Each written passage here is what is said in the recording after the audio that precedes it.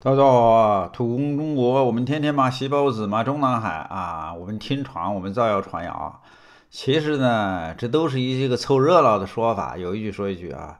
你要真正读懂中国，你要读读懂中国发生的一些个社会新闻。你一旦读懂以后，你就惊出一身冷汗。今天就看到一消息啊，说河北这个邯郸啊，叫肥乡旧店村，近日发生一起极其残忍的、恶劣的、突破人类这个道德底线的一个事情。一群小孩儿，十三四岁的小孩，初中生是吧？杀人毁尸，把人都埋了是吧？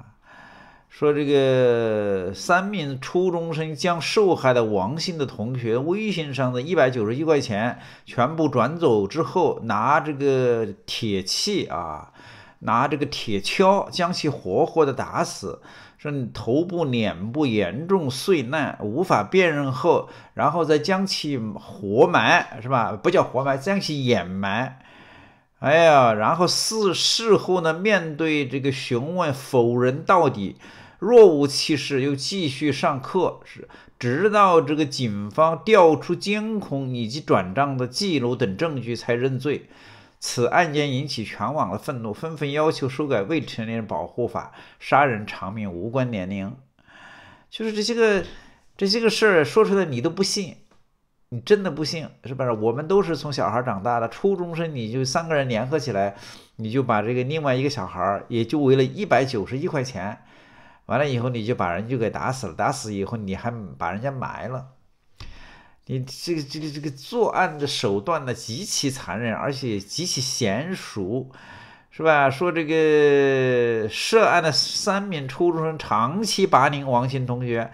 三月十号。三个人合伙将王鑫同同学啊骗至蔬菜大棚之后啊，将其微信上的钱呢全部转走，手机关机。随后三个人分工合作，有人回家拿铁锹，有人控制王同学，有人在门大棚的门口这个望风观望，有预谋、有组织、有系统、有指挥，分工明确。说下午的五点的时候，三个人用铁锹把这个王同学就给活活的打死了，是吧？完了以后，最后就把他埋了。三个人在警察问情况的时候拒不交代，心理素质极其的稳定，是吧？这个事情现在就在网上都炸锅了，是不是？所以很多人呢都气疯了。你气有什么用呢？但是这个是的确值得我们去说一些节目啊。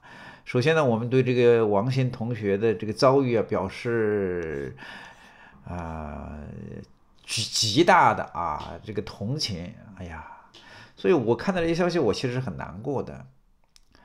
以前我们这个在中国当公知的时候，有一年也是发生了很大的事情，很多人都死了。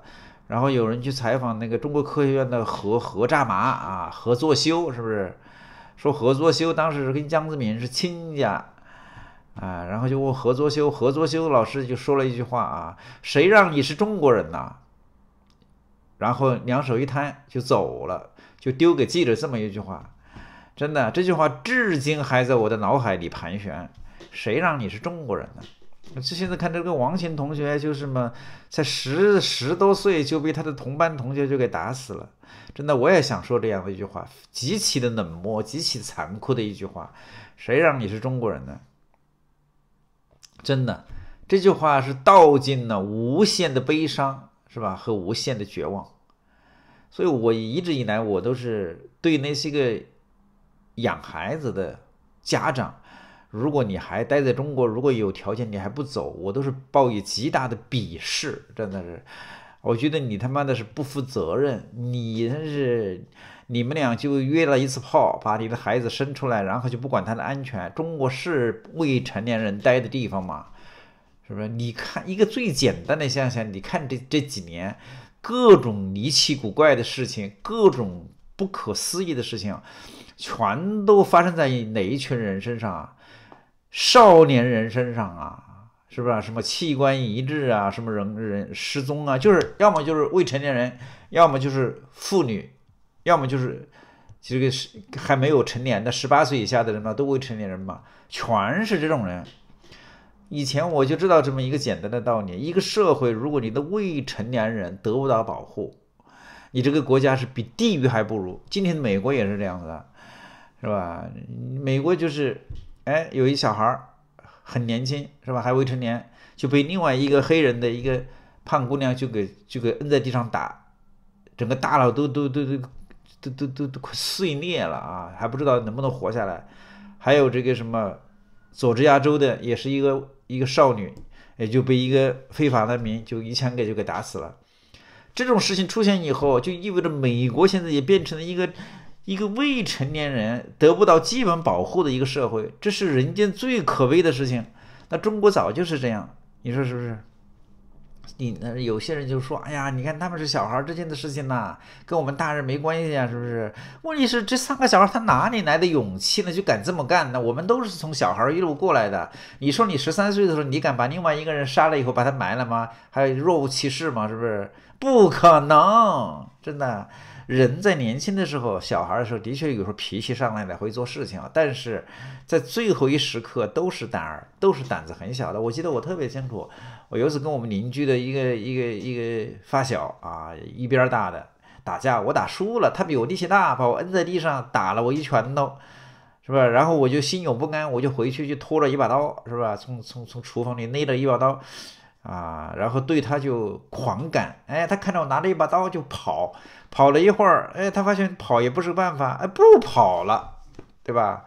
然后就硬着我走过去，你还想砍我？你那你砍一个试试？他真的就对着我走过来的，然后那一瞬间我一我害怕了，因为我心里明白，我虽然我是个孩子，我心里明白啊，我这么真的一刀砍过去的话，这人生就完了，我害怕了。这时候他打了我，他比我勇敢。我被他打了，我怂了，这是一个少年人的一个基本的心态，是不是？然后我的父亲就在旁边看着我，就就对我大喝一声，是不是？他这一回没有帮我去打那个人，而是批评我说：“你你这个性格从哪儿来的呀？是不是？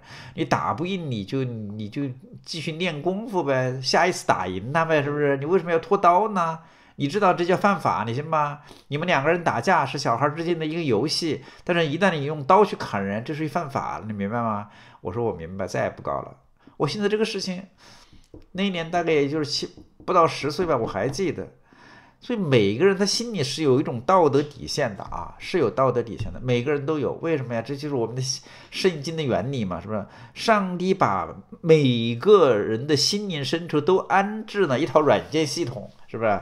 就是道德准则，每个人都有的。只要你是个人，你心里就有。你知道杀人是肯定是不对的，你知道偷东西肯定是不对的，你知道撒谎肯定是不对的，你知道抢夺别人的财产肯定是不对的。你从小就有。我从来没有见过一个人认为杀我他妈杀人就对。那如果有人认为杀人对，那一定是个革命家，一定是一流氓，一定是一地痞，是吧？而且他也不是说他不对，不是说他不知道，而是他知道以后还要还要干。所以每个人心里都有一种与生俱来的道德律，不可能不知道。我我们三个人联合起来把这个小孩子把他杀了，这个事啥事儿没有啊，就过去了。是吧？不可能心里没有道德律啊！我们就说过无数次，康德老师说过的啊，人要敬畏两个东西，一个是头上的星空，一个是心里的道德律。头上的星空呢，管外在，你对一个外在事件你要敬，你要敬畏，因为人的力量有限嘛，是不是？然后你心里有道德律的，每个人都有。我说了一句很很有趣的话嘛，是上帝给我们每个人在我们的心灵深处安装的一套这个操作软件。是软件记录，不是硬件啊！我们的身体、我们的胳膊、我们的身体、我们的大脑是我们的硬件，还有一套软件系统。这套软件系统就是我们的道德律，每个人都有的啊。那这个三个小孩他为什么要搞这个事情呢？我跟你说三个原因。第一，整个社会充满了一种躁动啊，一种张狂，一种疯癫，会影响到这些孩子。也许他的心目中有一个基本的印象，就是我把人杀了，也许没事儿。是吧？因为现在杀人放火的事情、搞爆炸的事情太多了，也没有破案，这是一种社会效应、社会引导效应。第二就是什么呢？就是他他这个姓王的小孩和这三个小孩相比的话，这三个小孩一定有某种优越感。哎，我果然就查了一下啊，说这三个小孩里面有一个小孩是那个学校的校长的私生子，是他的亲儿子、私生子啊，不是亲儿子，因为他一直呢就是。在学校里面呢，就趟着走，他觉得自己比其他人高人一等，是其实是一种身份的一种差异所导致的一种优越感，觉得你他妈就是一屌丝啊，你就是一个屁民，你就是一垃圾，我把你杀了以后跟没事人似的，你根本就没有任何的反抗能力。记住，这才是真正的核心所在。整个中国共产党它就是这样子的。中国社会啊，很多人说啊，不要去出国了，不要去日本的，不要去韩国，不要去台湾，不要去美国，为什么呀？因为你去了以后，你是二等公民，你到处都是种族歧视。我这么告诉你吧，全世界搞歧人口歧视、互相歧视来歧视去最严重的就是中国，没有之一，真的是。你你你在美国，你可能的确是一个二等公民，的确有时候遇到种族歧视。但是我告诉你，你如果在中国，你如果家里没有一点关系，没有一点背景，你就是跟我一样的一个普通老百姓的家里，在别人的眼里连人都不是啊！杀了以后你脾气都没有，把你埋了以后我还不承认，我照样该干嘛干嘛，真的是这样子的。在有些官员的眼里，啊，你真的是连人都不是。为什么我那天做了一期节目又总结一下呢？是不是？你如果家里没有任何关系，你在中国，你就是要么就是一草民，是吧？你是一韭菜，是吧？要么呢，你就是一什么，就是一屁民，你屁都不是啊！现在又来了一词儿，要么你是刁民，是不是？你既然你是个刁民，我一掌拍死你，拍死你，你还得感谢我，就这么一个情况。所以呢，我就这么说一句啊，如果你没有能力，我建议你别生孩子。真的，你生那么多孩子干嘛呢？是不是你又保护不了他的安全？如果你有能力，你生的孩子，你不把你的孩子从中国带出去，那你是自私，你是无耻，你是缺德，你是害人，你知道吗？有一天你的孩子如果懂事儿了，他会恨你的；如果他不懂事儿，那说明他是一垃圾，什么啥也不是，你横竖都是你的错。谢谢。